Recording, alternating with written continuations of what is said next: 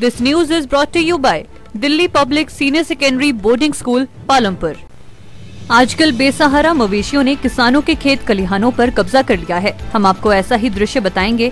ये बिलासपुर के नलवाड़ मेले का दृश्य नहीं, बल्कि उपमंडल पालमपुर की पंचायत चचिया के वार्ड नंबर पाँच के खेतों का दृश्य है, जहाँ पर पूरी रात मवेशी कब्जा जमाए बैठे रहते हैं। सुबह तीन चार बजे के आसपास गेहूँ के खेतों को चट करने के बाद खेतों में आराम फरमाते हैं तथा सुबह होते ही चौक चौराहों पर नज़र आते हैं। स्थानीय किसानों ने पालमपुर विधानसभा क्षेत्र की पंचायत कुडन में बन रहे गौसदन में इन मवेशियों को भेजने की मांग की है, ताकि किसानों की फ़सलें सुरक्षित रह सकें तथा इन बेसहारा पशुओं को भी स्थायी ठिकाना मिल सके। दिव्य हिमाचल टीवी के लिए गोपालपुर से संजय सोनी की रिपोर्ट।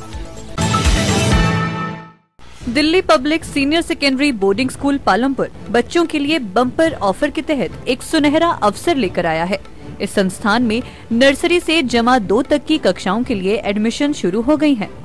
लिमिटेड सीट्स रखी गई हैं। दिल्ली पब्लिक स्कूल पालमपुर ने हिमाचल में बच्चों को अच्छी शिक्षा देने के लिए कड़ा प्रण लिया है हर बच्चे में कुछ खासियत है और काबिलियत होती है इसी के तहत बच्चों की पढ़ाई स्कूल में करवाई जाती है Delhi public senior secondary boarding school में एडमिशन चार्जेस एनुअल चार्जेस नहीं लिए जाते हैं, जबकि बीपीएल स्टूडेंट्स के लिए 50 प्रतिशत का डिस्काउंट दिया जाता है। इसी तरह अनाथ व शहीदों के बच्चों को स्कूल में शिक्षा मुफ़्त दी जाती है। इस बोर्डिंग स्कूल में रहने वाले बच्चों से मात्र साल के डेढ़ लाख रुपए वसूल किए जाएँगे, जिसमें ट्यूशन फ़ीस सहित रहना व खाना भी शामिल होगा। बोर्डिंग स्कूल में बच्चों को एनडीए की ट्रेनिंग भी दी जाती है। इसके अतिरिक्त सेना में कार्यरत अभिभावकों के बच्चों को 10 परसेंट की छूट दी जाएगी।